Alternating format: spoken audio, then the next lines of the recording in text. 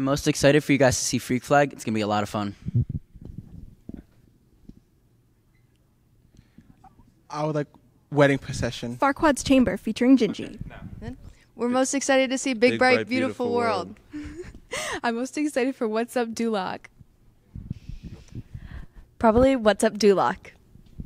I'm most excited for you to see What's Up Duloc.